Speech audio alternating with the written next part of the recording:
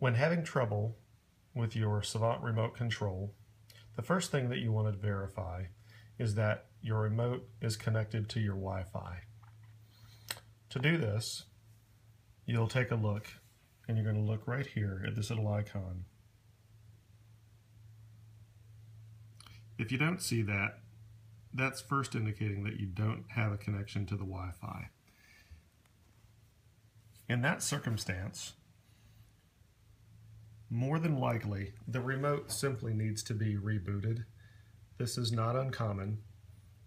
It actually has to do with Apple. It's not the Savant remote because this is an Apple iPod Touch that's built into these. So the first thing you're going to want to do is flip the remote up, locate the power button at the very top of it, press and hold that power button down until that appears. Slide to turn it off. And then you can turn it back on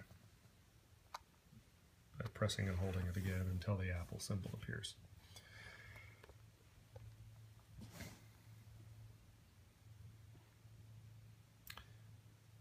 Once the unit is back up, it will more than likely automatically pick up the connection to the network.